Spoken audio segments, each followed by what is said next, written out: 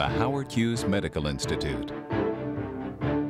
The 2001 Holiday Lectures on Science. This year's lectures, The Meaning of Sex, Genes, and Gender, will be given by Dr. Barbara Meyer, Howard Hughes Medical Institute investigator at the University of California, Berkeley and Dr. David Page, Howard Hughes Medical Institute investigator at the Massachusetts Institute of Technology. The first lecture is titled Deciphering the Language of Sex. And now to introduce our program, the president of the Howard Hughes Medical Institute, Dr. Thomas Cech. Welcome to the Howard Hughes Medical Institute and to the 2001 Holiday Lectures on Science, the ninth in our series. Our auditorium here is filled with bright-eyed high school students from throughout the greater Washington, D.C. area. Welcome students, and also welcome to those of you who are joining us uh, by our live webcast through the internet. Special welcome to the educators and students in Moscow, Russia, who are joining us by a video link. To you, I can't say good morning, I have to say good evening. Yaradvuy Snami. Each of you started out as a single cell, the product of a fertilization event of a sperm and an egg. And for about the first seven weeks of life, you were all generic embryos. But then, in the seventh week, something started to happen that would result in about half of you becoming boy embryos and half of you becoming girl embryos. That's going to be the topic of our lectures this year.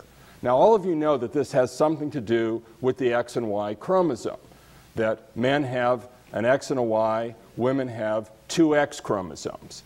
But what is it about these chromosomes, or about the genes that are located on these chromosomes, that lead to the development of one sex or the other?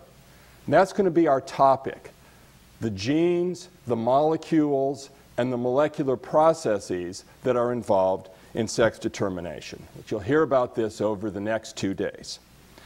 Howard Hughes Medical Institute hosts these holiday lectures in part as a way of highlighting the world famous scientists who work in our laboratories. These investigators, over 300 in number, and their research groups are located at more than 70 host institutions including MIT in Cambridge, where David Page comes from, and UC Berkeley in California, which is the uh, laboratory home of Barbara Meyer and her group. You can learn more about our investigators by logging on to our website.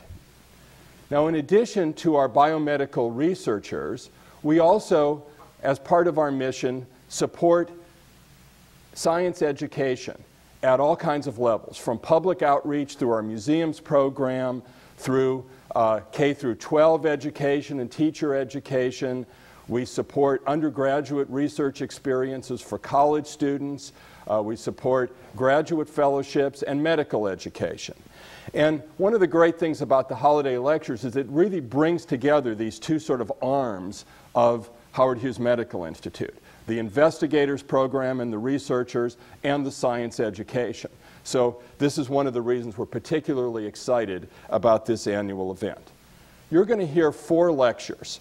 The first is going to present, be presented by David Page, who's a Hughes investigator um, at MIT. Uh, he's also a professor of biology there and a member of the Whitehead Institute. And David is a, I've known David for a long time. He's a, a very skilled uh, researcher, but also presents very well. So I think you'll really enjoy his lecture, the first of which is going to be entitled Deciphering the Language of Sex. David will speak for about 40 minutes, and he'll have questions uh, halfway through and then again at the end. So as he's talking, you might want to think about what questions you would like to ask. Then we'll have a half hour break uh, and hear from Barbara Meyer. David, I know you've always wanted to be on MTV. Well, we didn't, we weren't able to arrange that. But next best thing, we have a video uh, about you and uh, your uh, research interests, which we're going to show now. And after the video, uh, the stage is yours. The 1957, year of space and Sputnik dogs. Like How did I get interested in science? The mid-1950s, uh, when I was born, was the time of Sputnik. So the Soviets sent that satellite around the Earth. At 600 miles, the half-ton satellite joined the meteors in outer space to orbit around and the Earth at the adults of my parents' generation decided that kids needed to learn science if the United States was to be strong. I started uh, some research while I was in medical school, and I couldn't bring myself to giving to giving it up. In fact, I'm I am today continuing the research that I began while I was a medical student. I was lucky enough to enter the Human Genome Project absolutely I wouldn't even call it the ground floor. It was below ground level. I started on this project to make a genetic map of the human genome, and I quickly found myself with some DNA markers for the human X and Y chromosomes, purely by accident. By picking these DNA probes for the X and the Y chromosomes, that got me interested in sex chromosomes and in how male and female appear during embryogenesis. Jeremy, hey. How's it going? In our lab, we're looking for several things. We want to understand what sex chromosomes are and how to think about them. That's one thing. A second thing that we want to understand is what do genes have to do with infertility in humans? Right now, our work is, fo is focused particularly on, on male infertility. Is it environment? Is it genes? We don't fully know, but we're, we're clearly finding that a good bit of it is due to genes my goals for the holiday lectures are two things. There's some biology that I want to explain. Uh, some biology that I'm very excited about. What it means to be male, what it means to be female. When I was in high school, I had never met a scientist. And so science for me was, was very abstract. So the second goal for me in my being and my presenting to, to be a scientist that um, and to show what a scientist is, I want to provide a glimpse of what it is to be a scientist, a glimpse of what it is to think like a scientist, and why it's an exciting career option. Good morning.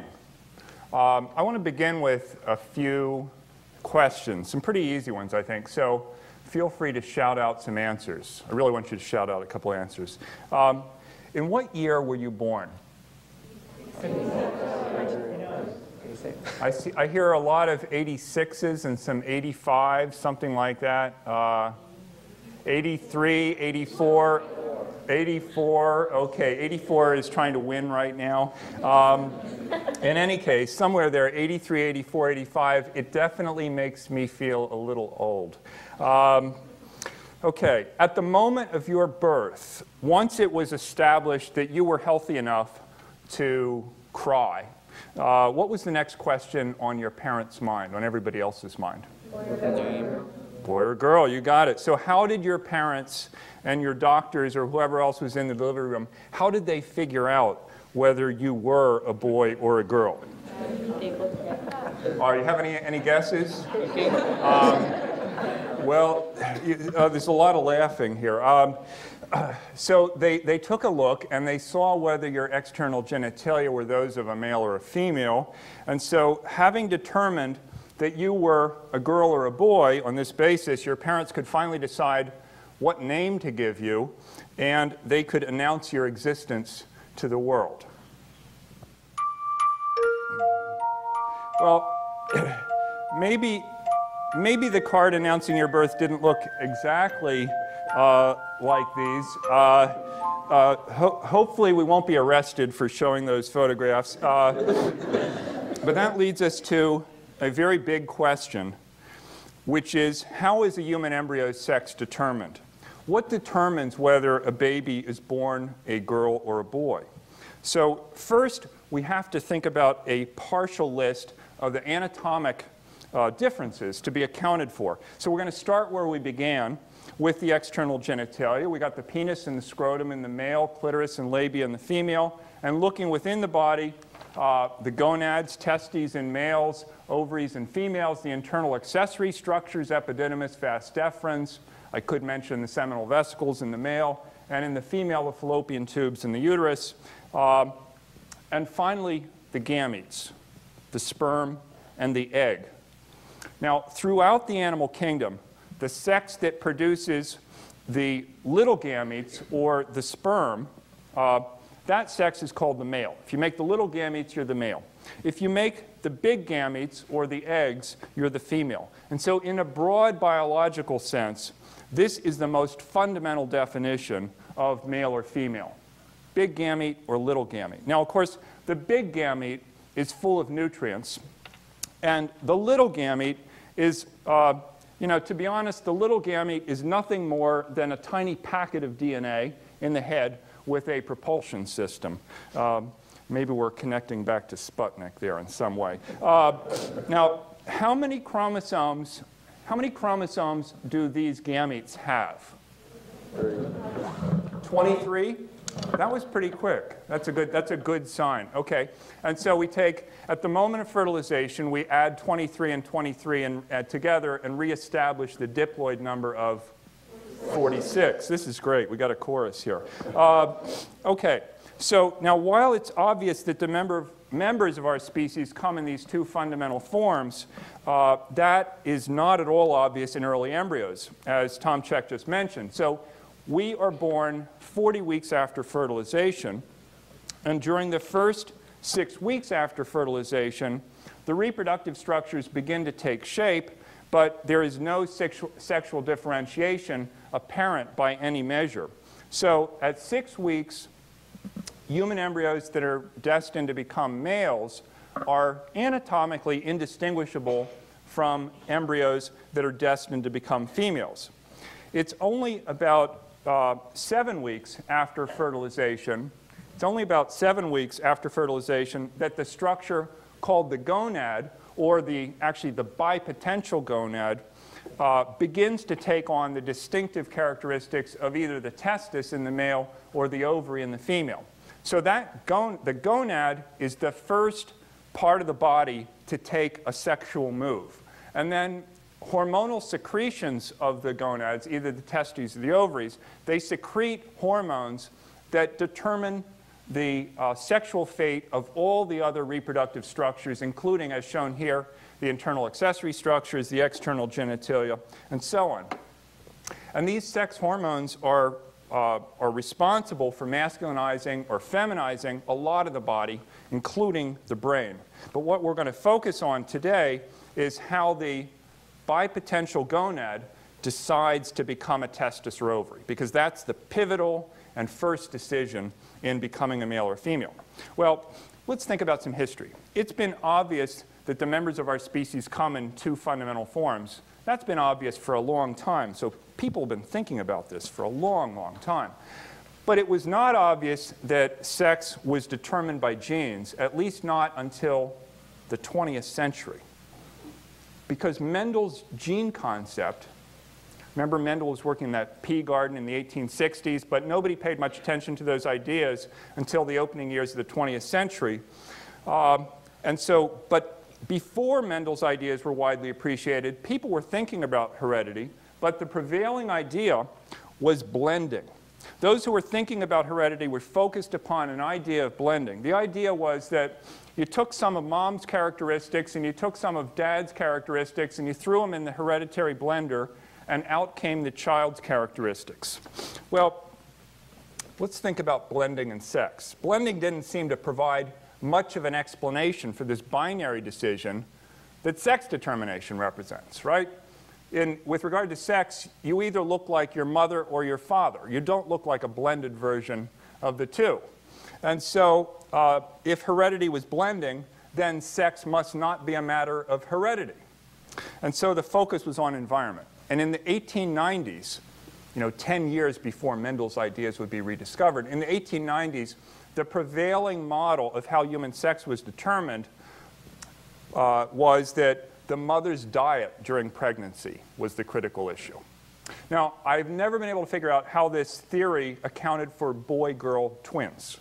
Uh, and then there were other theories that focused on things like the phase of the moon or the state of the economy or war or peace, things like that.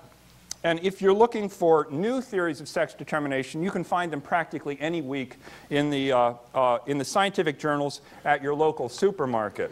Uh, now, much earlier, um, Aristotle had his own theory of sex determination. He claimed that the sex of a human embryo was determined by the father's temperature and level of excitement uh, during intercourse. So, according to Aristotle, the higher the heat, the greater the chance that one would have a a boy, you say. I didn't complete the sentence. You did. Um, ideas, yes, he did say it was, it was uh, likely to be a boy. So ideas about how sex is determined began to change in the first years of the 20th century. So using the light microscope and uh, poring at these blob-like structures in the nucleus called chromosomes. And I should say that in the early years of the 20th century, you could see these colorful bodies, chromosomes, colorful blobs in the nucleus, but they weren't in any way linked to heredity as yet. But some cell biologists became convinced that there was a systematic difference between the set of blobs that you saw in the nuclei of male and female beetles, and also between the male and the female of certain species of flies, including the fruit fly Drosophila melanogaster. So uh, what these cell biologists, these blob watchers, noted uh, in the opening years of the 20th century was that in fruit flies, both males and females had three matched pairs of blobs. They shared three matched pairs of blobs, which we now recognize to be three pairs of autosomes. But in addition, the males had an unmatched pair, and not knowing what else to call them, this unmatched pair got called the X and the Y. And then it was recognized the females had a fourth matched pair called the two X's. So now I got a really tough question for you.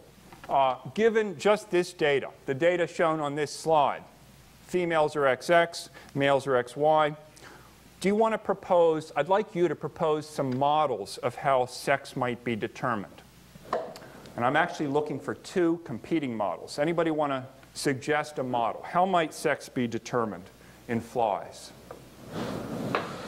Any suggestions? Yes? Um, by performing an um, um, amniocentesis or?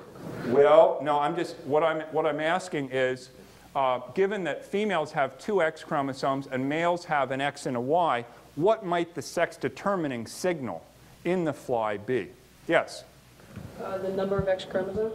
Okay, so sex could be determined by the number of X chromosomes, females having two, males having one. Okay? Uh, uh, another, another possibility, yes? The presence of a Y. Okay, it could be the presence or absence of the Y chromosome. So we have two competing hypotheses now. Sex could be determined by the presence or absence of the Y, or it could be determined by the number of X chromosomes.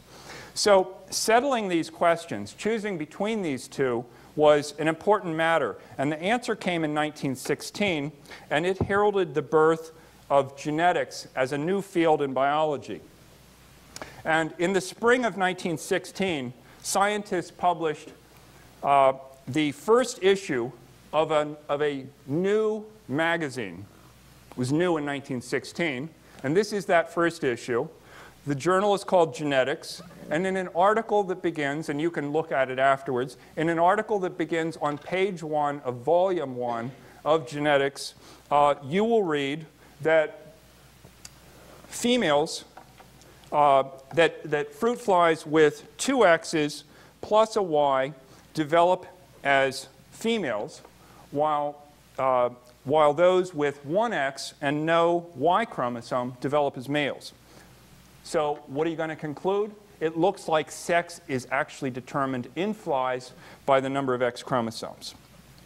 And this was the first time that any organismal trait or phenotype in any species was connected to a specific chromosome.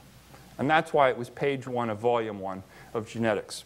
And in lecture two, Barbara Myers is going to discuss that in uh, the nematode C. elegans, a very similar counting of the X chromosomes occurs and plays a critical role in determining whether the embryo develops, in that case, as a female or a hermaphrodite. But that's more for lecture two.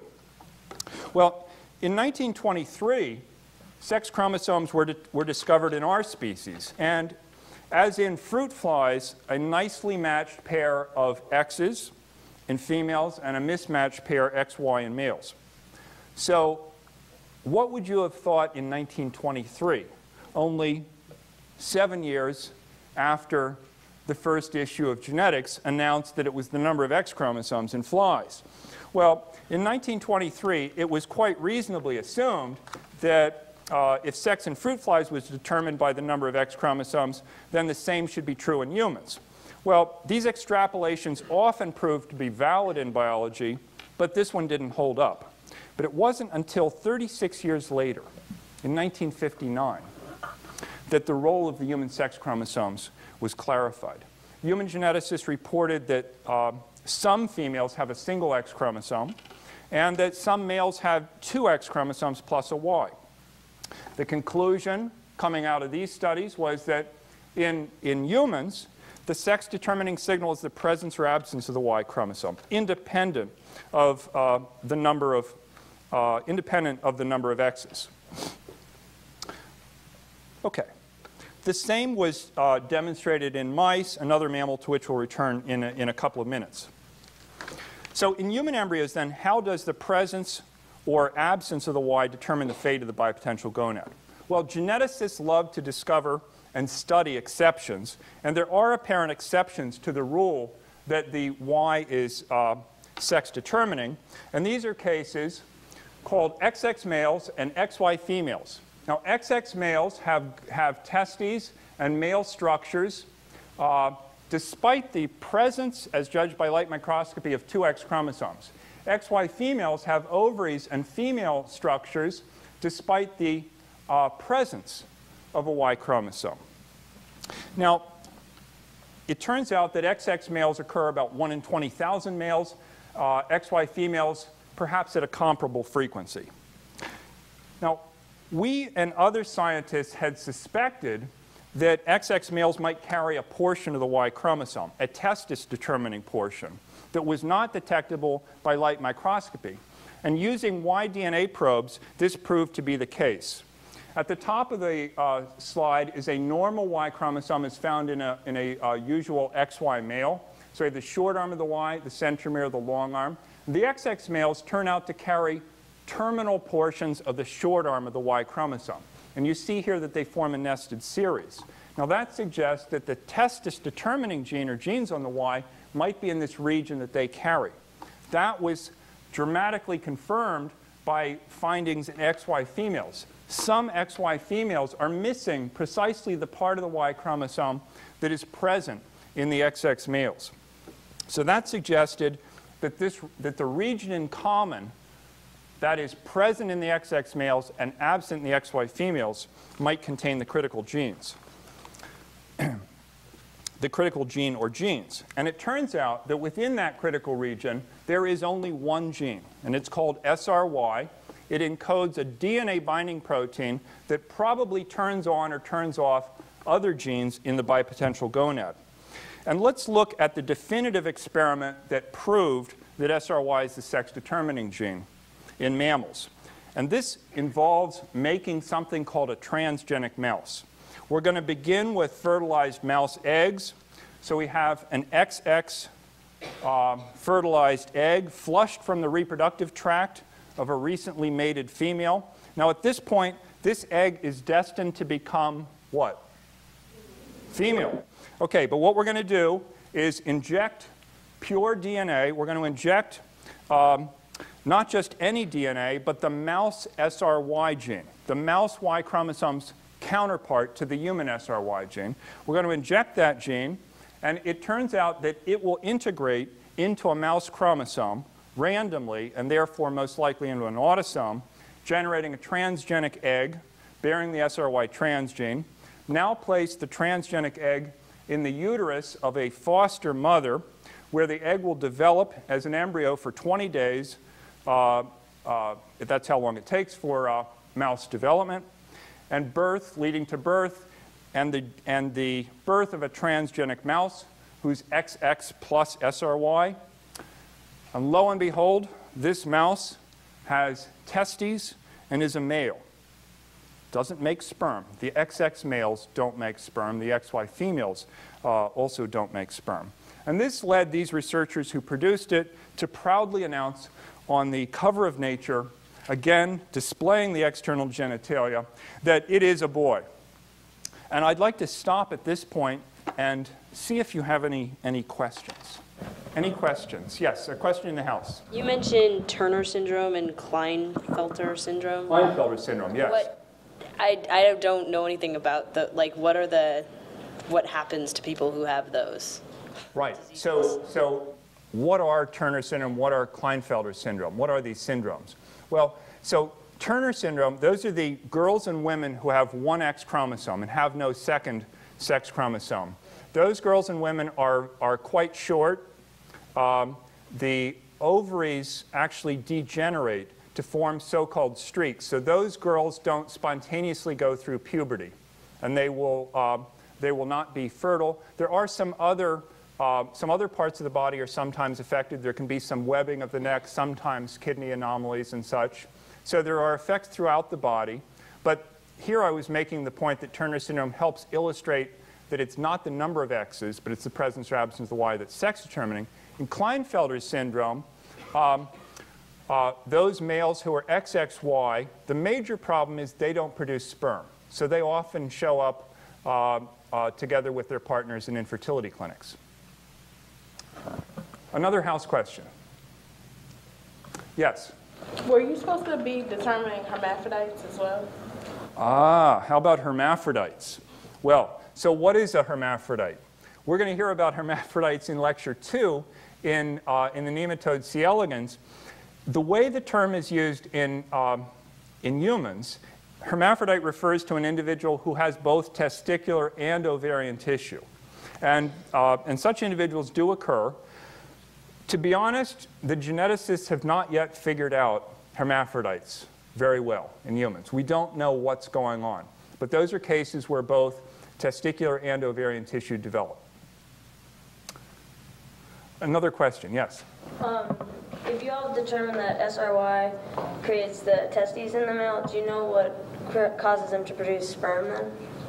Ah, okay. So why is it that why is it these that these XX males, both the humans and the and the XX plus SRY mice, why don't they make sperm? Well, we're going to actually come back to that in some detail. I'm going to come back to that in some detail in lecture four. But it turns out that those individuals and those mice seem to have two strikes against them. It looks like having two X chromosomes is somehow incompatible with producing sperm. And it also looks like other genes on the Y chromosome are required for producing sperm. So there are two reasons. How about uh, another house question? Yes, over here. Um, SRY changes an XX um, embryo to male, right? That's right. And then um, what changes an XY embryo to a female? Ah, well, so in the XY female, we were missing, the XY female's Y chromosome was missing the SRY gene. Okay, so the SRY wasn't present. We're actually going to come back in the second half of this lecture and re-examine that question of how does SRY come to be missing in an XY female? Great question. Yes? Is the SRY the what determines whether they have testes or not? Is that what it does, basically? Yes, that's exactly. The question uh, concerned, is SRY the cause of the gonad, does it cause the gonad to develop as a testis? That is exactly uh, what we think is going on. That the bipotential gonad is set, is poised to become either a testis or an ovary.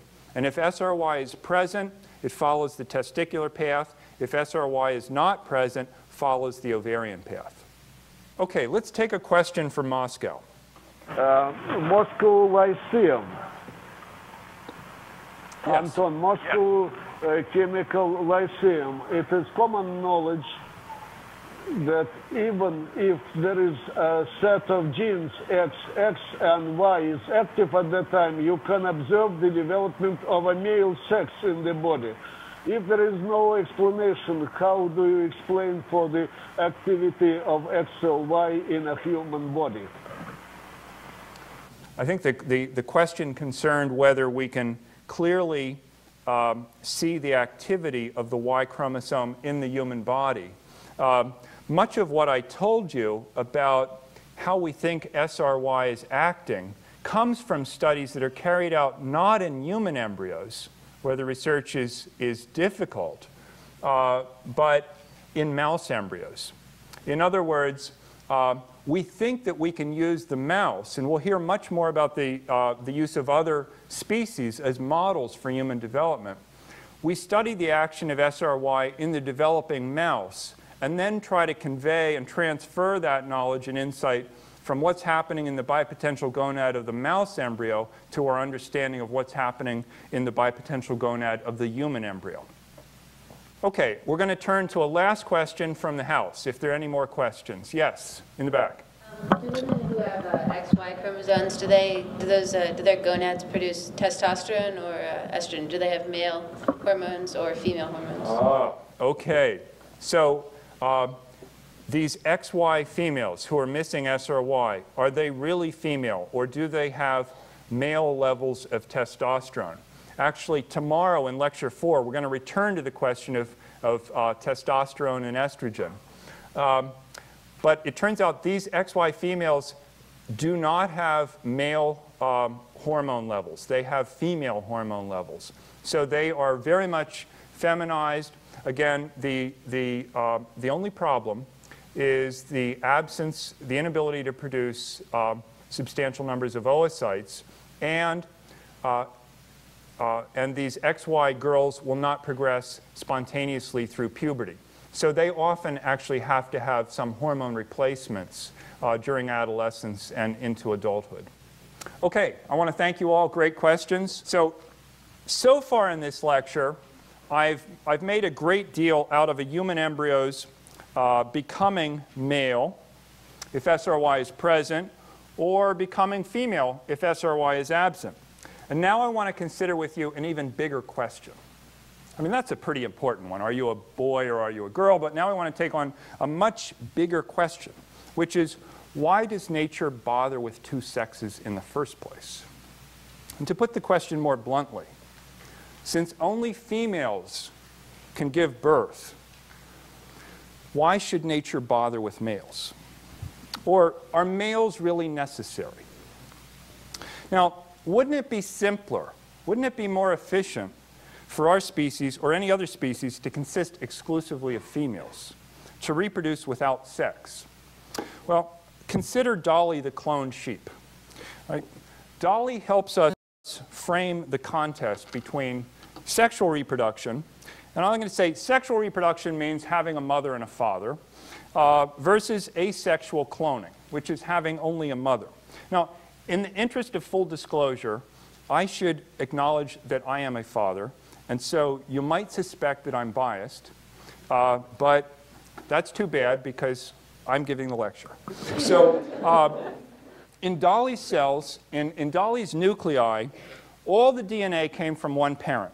So, Dolly was generated by taking um, a sheep egg, an unfertilized sheep egg in that case, taking an unfertilized sheep egg, removing the nucleus and replacing it with the nucleus of a breast cell from an adult sheep. Now, that female that donated the breast cell nucleus became the one and only genetic parent of Dolly. So today, by today, goats, cattle, pigs, and mice have all been cloned by similar procedures. Now, you may say, sure, but these were experiments that were conducted by scientists in laboratories, and they have nothing to do with the natural world. So I want you to consider with me Dolly's wild and natural counterpart, which is the Laredo striped whiptail.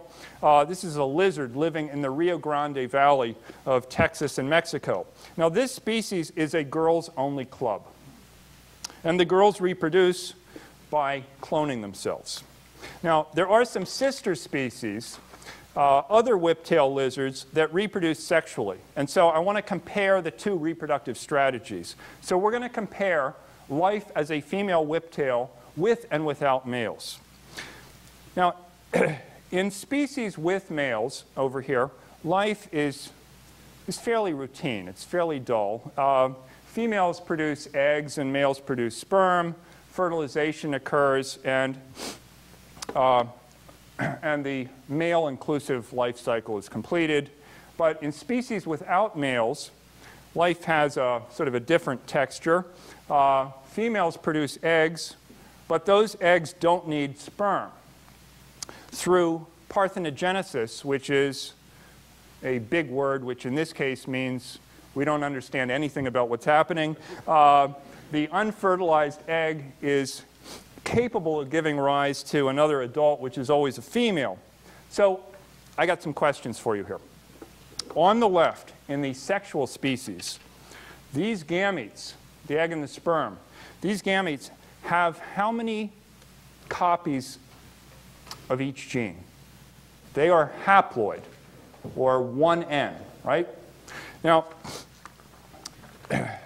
so what's the biological process that generates haploid cells? Meiosis, okay? So these are 1N cells generated through meiosis. Now, on the right, in the females only species, did these eggs go through meiosis? You pretty sure about that? They didn't go through meiosis? Well, I agree. I don't think they went through meiosis because one of the things you do in meiosis is cut your number of genes in half. And it wouldn't take too many generations over here to run out of genes, right, if you went through meiosis every life cycle. So certainly we don't have the, any kind of meiosis that we're familiar with, at least over here. So the question then of are males really necessary? That is equivalent to the question to participate in meiosis or to abstain. To have sex or to clone, to have meiosis or no. So meiosis then, I'm going to argue, meiosis is the defining feature of sexual reproduction. Now, have you studied meiosis? You covered meiosis, so you know you got leptotene and zygotene and pachytene and dancing chromatids and homologs, and you can barely keep track of all these things. Well, today I ask only that you keep track of two consequences of meiosis. So one is gene swapping. Gene swapping is this process you know about recombination, reciprocal exchanges between paired chromosomes. That's a big consequence of meiosis. A second big consequence of meiosis we've already mentioned briefly is that you divide the genes by, by half. You divide, them by, you divide them by two so that each gamete receives one of each chromosome pair, uh, receives one of each of the, of the paired genes present in the parent. Now, so is this trio of males, sex, and meiosis really necessary? Well, not in an abs absolute sense, as illustrated by the, the Laredo striped whiptail lizard, so why bother? So the question I put to you then is sex good? In an evolutionary sense. Uh, what, is, what is the long-term value of meiosis, of sexual reproduction? Yes? Genetic diversity. Genetic diversity, okay? Um, we're going to come back to that idea. Yes? Recombination maintains the uh, chromosomal uh, stability of each gene. Maintains the stability of the genes. Let's get some more ideas out here. Uh, have things that are um, asexual, eventually they're not going to be able to breed and, and you wipe out an entire species. You don't think they're going to be able to breed too well? Okay, yes. The asexual, you think, are not going to be able to breed too well. Another thought. The ability to adapt to a changing environment. Adapt to a changing environment. Okay, so I'm hearing that it sounds, you, you, you're all pretty convinced that it is a good thing to have sexual meiosis, to have sex, to have meiosis, have this recombination, this shuffling of genes, because it's going to allow you to adapt to a changing environment, perhaps to put together nice new beneficial combinations of genes? Well,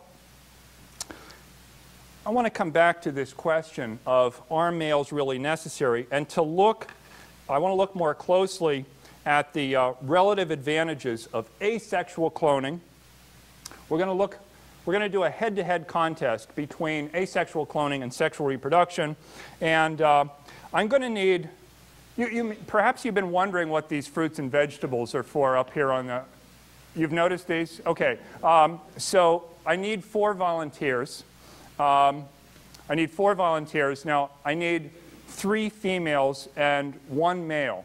Uh, don't worry, this is not, I'm not running a dating service or anything. Um, okay, so I'm going to got uh, one, one woman up here and uh, one here and one back there. And I need, okay, sir, yes, why don't you join us? Okay, so if you'll come down front and take your positions behind the, uh, behind the table here, we will put you in charge of your, uh, of your genomes. Um, okay, so sir, why don't you stand here and I'm going to have, yeah, why don't you come over here and if you could be here and there. That looks great. Okay, now, uh, I'm going to explain that you, you didn't know it when you, when you took these positions, but uh, I see actually the asexual experiment is over here on the right. Now remember, on the, on the cloning, on those, when we clone, when we reproduce by cloning, we have female-only species, all right? And we have over here the, uh, we have over here the gene shufflers. This is the sexual recombination team, okay? And we have each of these, um, uh, each of these members of these two species um, the sexual species here, the clonal species over there. Each of the members of these species has three different genes, two copies of each gene, right? And it looks like, and I just want to, I want everyone to verify that this contest is starting uh, with a level playing field, right? Everybody has got, would you please confirm, would you agree that you all have the same set of genes to begin? Okay. Uh, you can inspect any of these fruits and vegetables um, if you feel you know, that you might be shortchanged. I want everybody to start feeling good about their, their genes and their genomes. Um, okay, so now the trick is I gotta, I gotta express some of the rules. So first of all, each female can have one offspring per reproductive cycle. Males can have no offspring. I'm sorry about this, but this is just the way it works. Now, the clonal reproducers the clonal reproducers, you are going to pass all of your genes to each of your offspring. Okay? You are going to pass all of your genes to all of your offspring. You got that? Okay, now over here on this side, you are going to, you are going to pass one of each of your genes to your offspring, and you are going to contribute. So the two of you are going to have to create sort of a, a tray when we, have, when we carry this out. Okay, so let's go through the first cycle. So you two are just going to have an offspring. You're going to have one offspring, these genes, one with these. You need to make, you two need to make choices and put uh, one of each of your genes onto the tray in the middle. Okay? Uh, one of each of your genes. Uh, it's not a good idea to stop at one chromosome. You got to do the whole thing. Okay, now Okay, so who wins in this first generation? The sexual or the asexual? The asexual is ahead two to one, right? This looks, oh man, sex is, is going to quickly run out, run in. Okay, would you uh, disassemble your offspring? We're going to try this again. We got to see if we got to somehow help this crew. Okay, so what, now actually the claim was made that recombination, that, my, that sex creates diversity. What actually creates diversity? What is the source of the raw materials for evolution? It's not just recombination. You have to have another process. Mutation. You got to have mutation, right? So now some mutations are beneficial and create interesting diversity. So for instance, we are going to trade.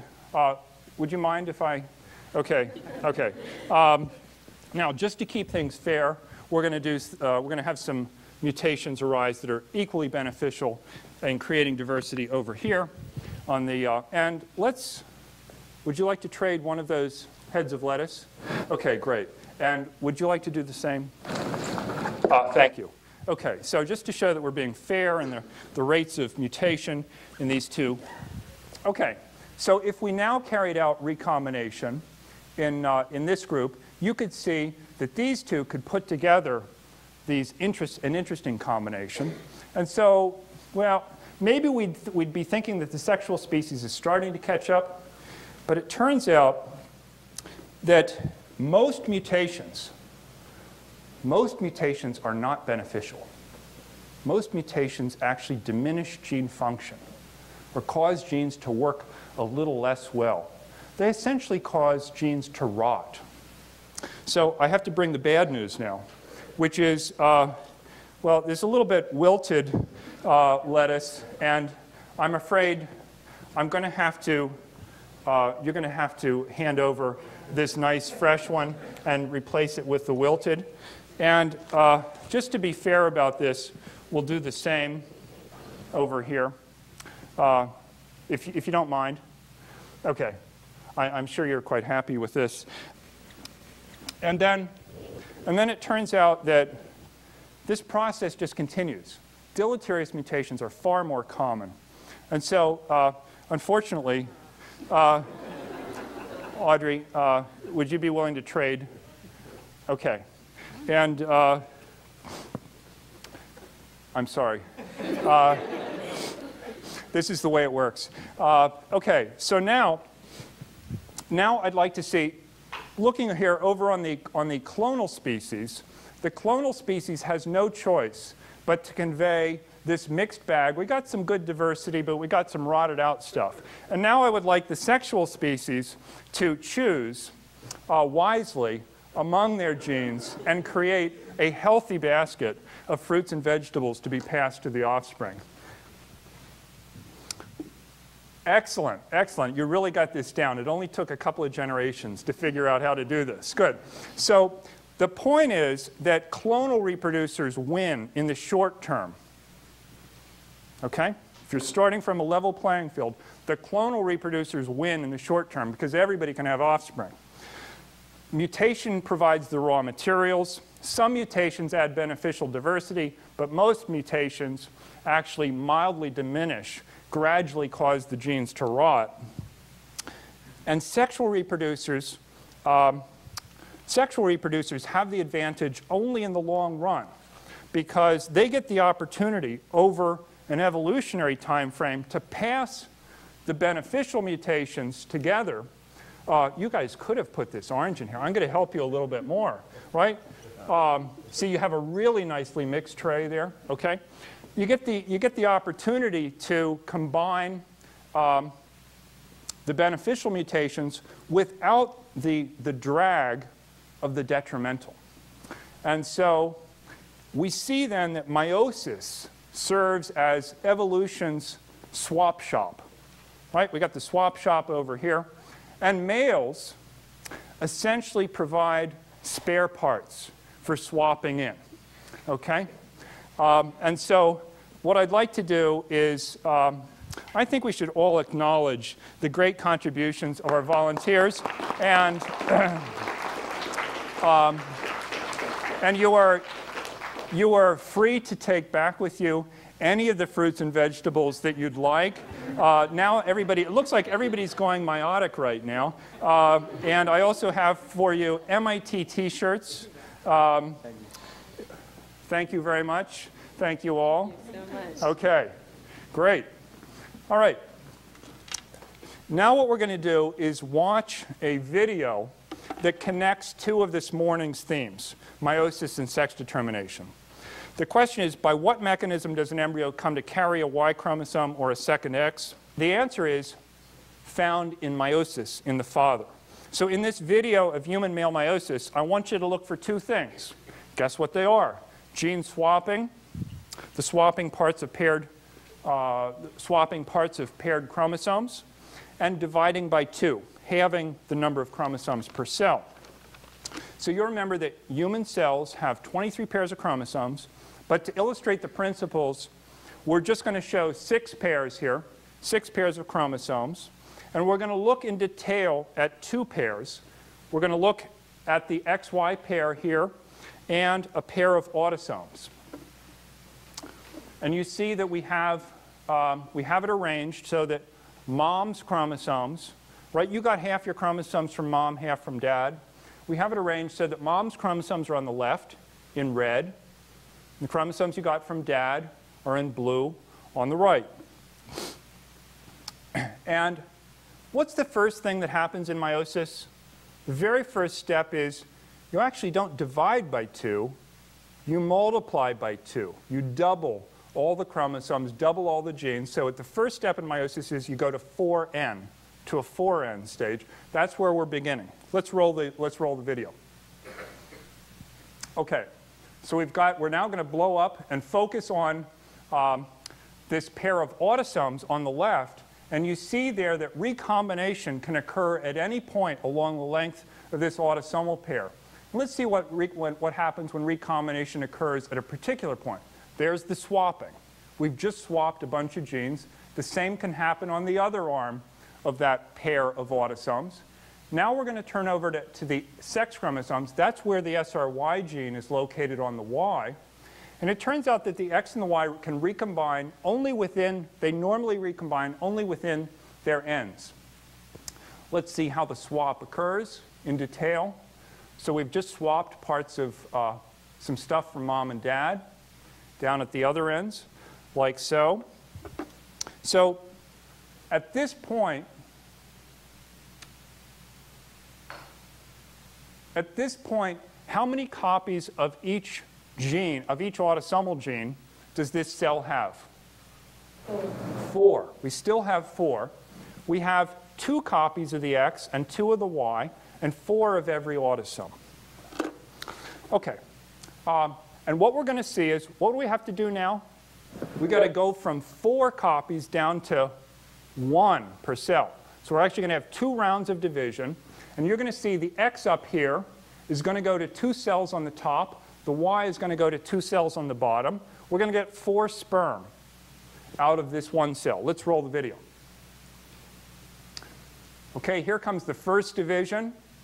The cell on the top has two copies of every gene, the cell on the bottom two. Now comes the second division.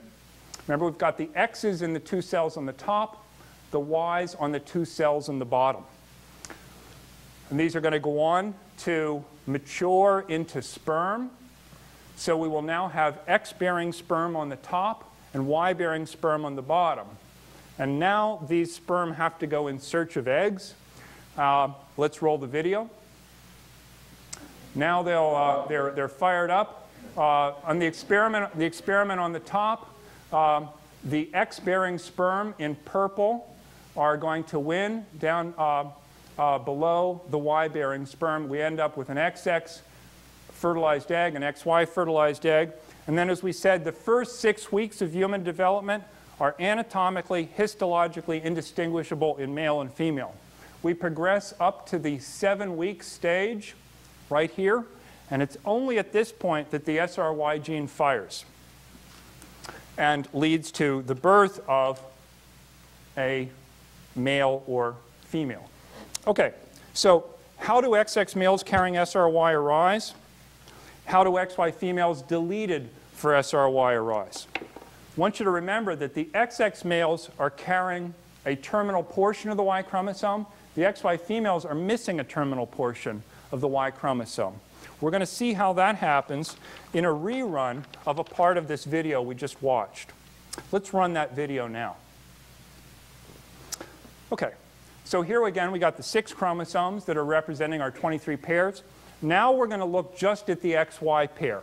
And we're going to watch an aberrant recombination or gene swapping. So there again is the SRY gene on the Y chromosome.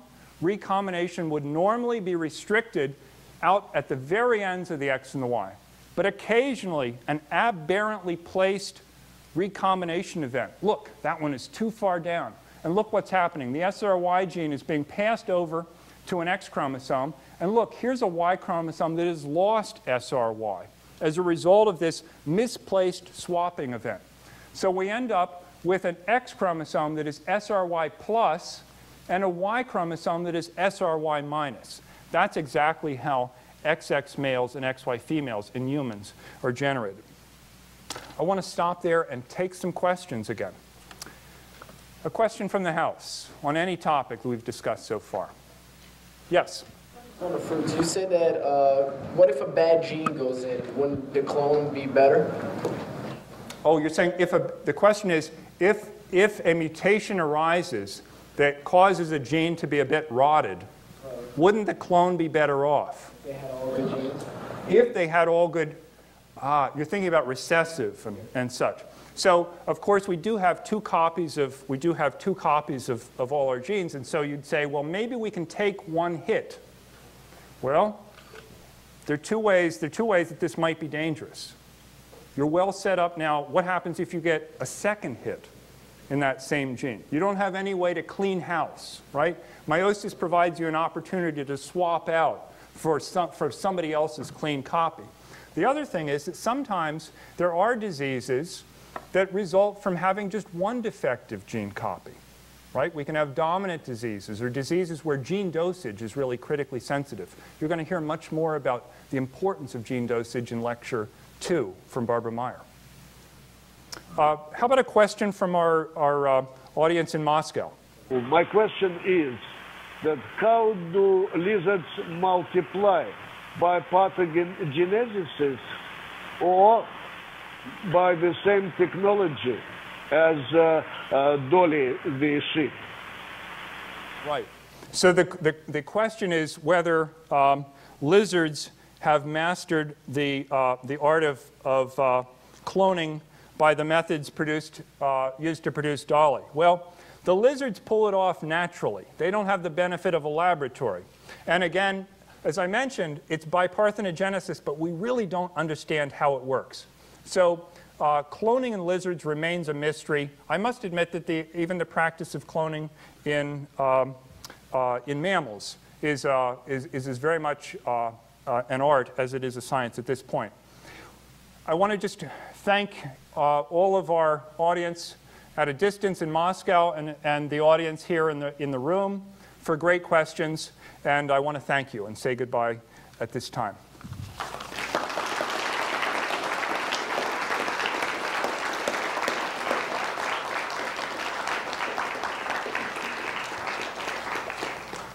Thank you, David, for a scintillating lecture.